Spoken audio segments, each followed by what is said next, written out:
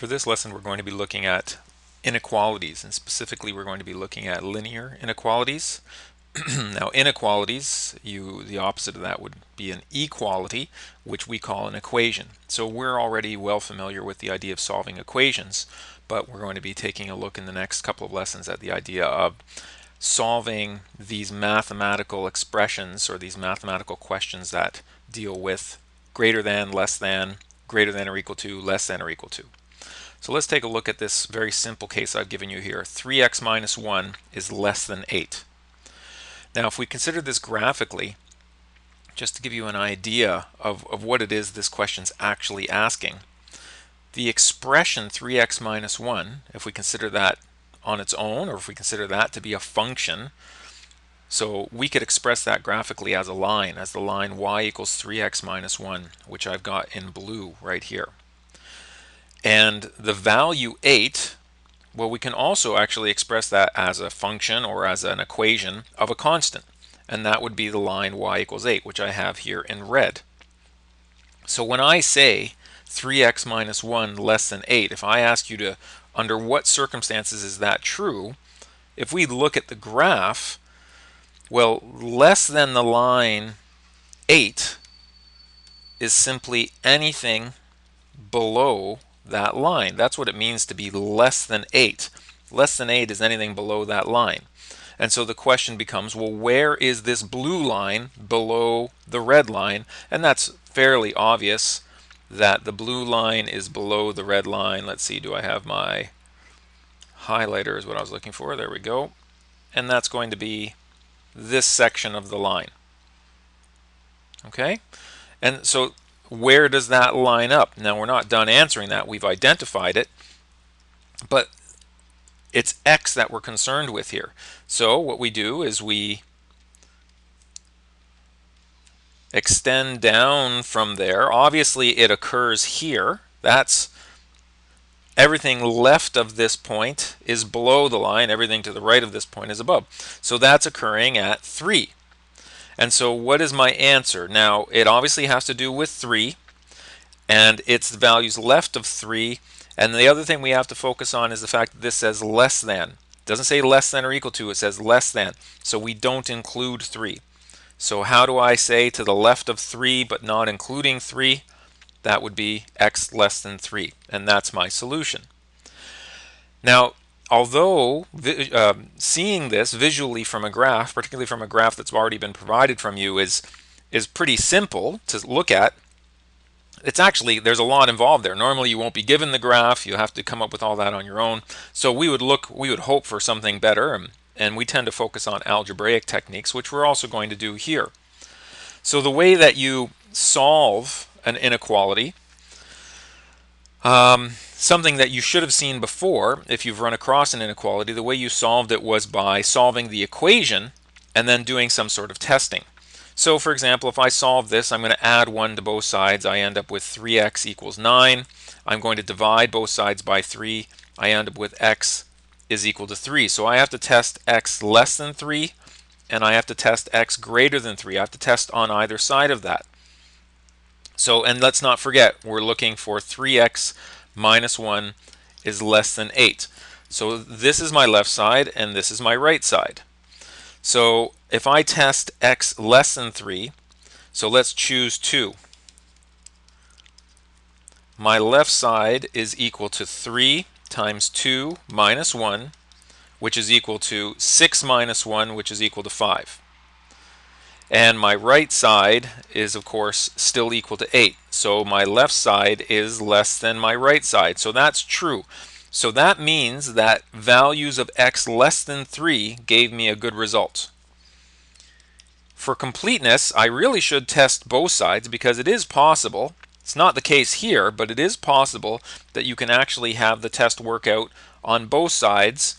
So in this case, I'll test x equal to 4 and my left side is equal to 3 times 4 minus 1. That's 12 minus 1, which is equal to 11. My right side hasn't changed. The right side is still 8. So in this case, left side less than right side is not true. And so this one does not pass So therefore, x less than 3. That's my solution. This one is not correct. This is correct. This one is not correct. Obviously, I've when I refer to something here, I'm saying, well, this is how we used to do it. We're going to talk about how to do that now, going to something a little bit more direct. And so you can see this is what we've just finished solving. How we represent our solution, we've got a few ways that we can do it. And these are more formal ways. In my previous, I just wrote down x less than 3. But really, we should be saying what kind of numbers x would include. So x is a member of the real number set x such that x is less than 3. We can use interval notation, which I've introduced in a previous lesson, and I told you that you'll be seeing more and more of it. So this is kind of an interesting thing. It says x is a member of the interval from negative infinity to 3. And then we can also represent this using a number line. It's x less than 3, so it's at 3, but it does not include 3. And then it's everything to the left of that point. Number lines are sometimes awkward, especially if you're not working with two colors. So one thing you might do here is you might show something like that if you're just working with a black pencil over a black number line. So open circle here to say it doesn't include 3 and then everything to the left of that number 3. Now, before we can get into the algebra, we have to go through a couple of rules here. And I just want you to um, bear with me. Some of these things may seem pretty obvious to you, but we do have to talk about this. Okay, so I'm going to start with an inequality, 4 less than 8. And so that's true. Those numbers, 4, the number 4 is less than number 8. So what happens if I add a positive number? So if I add, let's just add 2. So if I add a positive number, I take 4 plus 2 less than 8 plus 2. And really, I'm, I'm writing this out, but what I should be doing, actually a better way to do this, is I really should be doing this as left side, right side. So my left side becomes 4 plus 2, which is equal to 6. My right side becomes 8 plus 2, which is equal to 10 and is 6 less than 10? Yeah, the left side is still less than the right side. So adding a positive number, that worked just fine. Um, if I add a negative number, let's do negative 3. So I end up with my left side becomes 4 minus 3, which is equal to 1. My right side becomes 8 minus 3, which is equal to 5. Is the left side less than the right side? Yes, it is. Okay, so that worked just fine. Adding positive, adding negative. Subtracting a positive. So now I'm going to subtract. Now it's going to seem odd that I do it this way. You might say, well, what's the difference here? If I subtract 2, if I subtract a positive number, that's the same as adding a negative number, isn't it? Right? Those are the same thing. So you know what? I'm going to skip over this. Subtracting a positive and subtracting a negative are the same, but just in the reverse order of adding a positive and adding a negative. So those work just fine. What about multiplying by a positive? If I multiply by a positive, let's multiply by 3. And so my left side becomes 3 times 4 is equal to 12. My right side, 3 times 8 is equal to 24. Left side less than right side. Yep, that still worked. So multiplying by a positive works. Multiply by a negative. Let's multiply by negative 4. My left side becomes negative 4 times 4 is equal to negative 16. My right side becomes negative 4 times positive 8 is negative 32. Is my left side less than my right side? Is negative 16 less than negative 32? The answer to that is no it turns out negative 32 is actually further to the left than negative 16 on the number line. This did not work.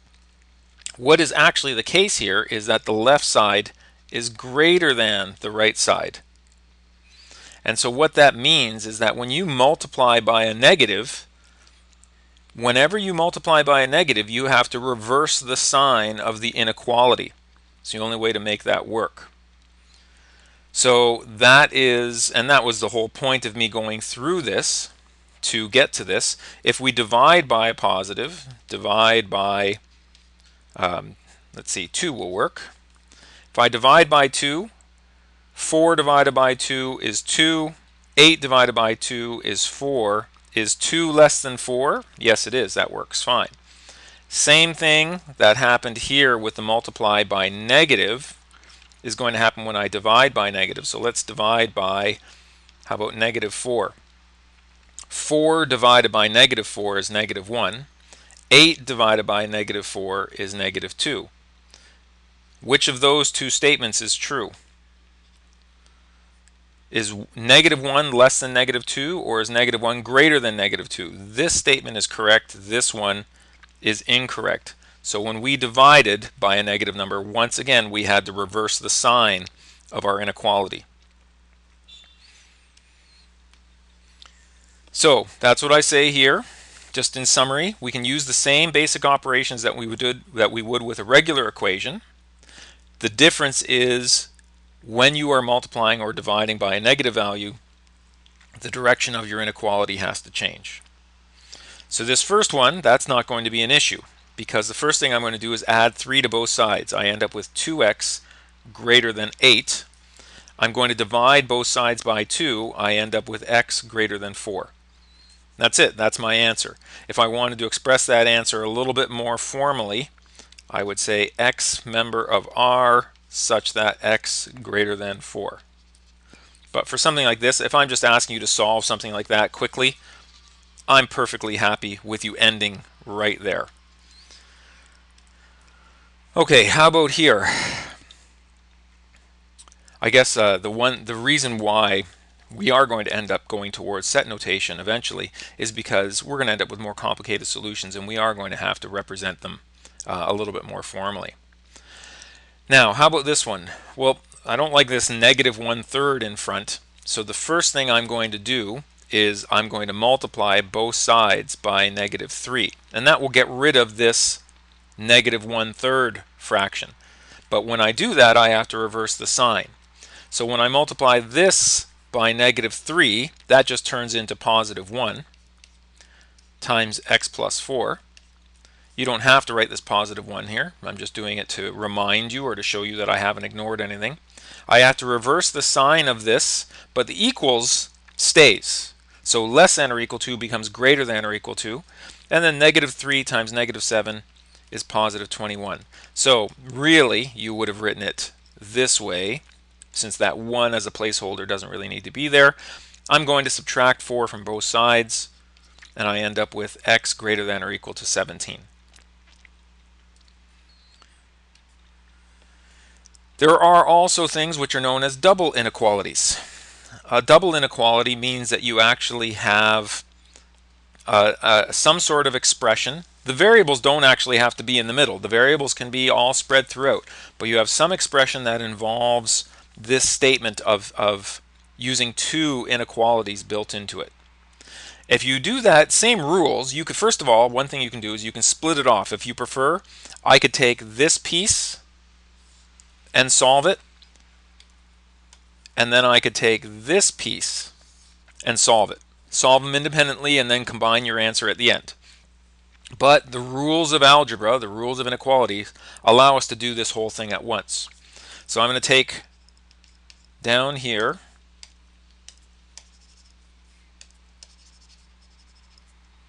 I will go ahead and actually I guess A is we're not at A yet. I'm going to solve the inequality first.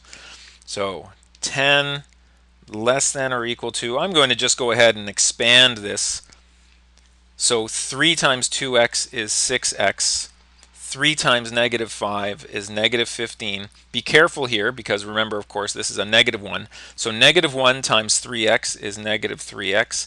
And negative 1 times negative 7 is positive 7, less than 25. I'm going to simplify what's in the middle there. 6x minus 3x is 3x. Negative 15 plus 7 is negative 8 less than 25. I'm going to add 8 to everything, to all sides or to all terms. So I add 8 here, it becomes 18. Less than or equal to 3x. I add 8 over here and it becomes 33. Divide everything by 3. 6 less than or equal to x less than 11. Notice the less than here stayed the same, the less than or equal to here stayed the same. So I end up with my answer being the numbers between 6 and 11. So my first answer, using set notation, the way I would say that is x member of R such that, and then I would just really just write this. I would just go ahead and say 6 less than or equal to x less than 11. You could also write this as two pieces. X member of R such that, and then you could say, okay, so x less than 11, that's easy enough to read, but 6 less than or equal to x, we wouldn't normally write it that way if we wanted to break this into two pieces. We would say x greater than or equal to 6, comma, x less than 11. I think this first notation is by far clearer and more elegant. It is saying that the number x is between 6 and 11, including 6 but not including 11. This says the same thing, but there's a little bit more thinking you have to do to make sure you understand what interval this is referring to.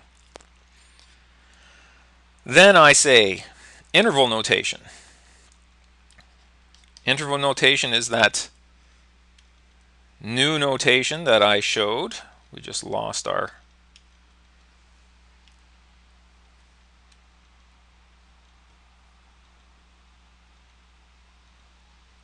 lost our work there. Okay, so interval notation, I would say that x is a member of, and I'm going to use interval notation, the lowest number here is 6, and the highest number here is 11, but it includes 6. And so the way that we say it includes 6 is not with a round bracket, but with a square bracket. And so this means includes 6, and the round bracket does not include 11. Okay, and then finally, there is the number line itself. So I'm going from 6 to 11. So let's put, there's 11, 10, 9, 8, 7, 6, and I'll put some values on either side. It includes, my answer included 6. My answer did not include 11. And it is the values in between there. Now again, I'm using a colored line and kind of doing an ugly filling in there. The other thing you can do is something like this, if you're using a black pen or pencil, to show that it goes from 6 and includes 6 to 11, but does not include 11. And that is it for this lesson.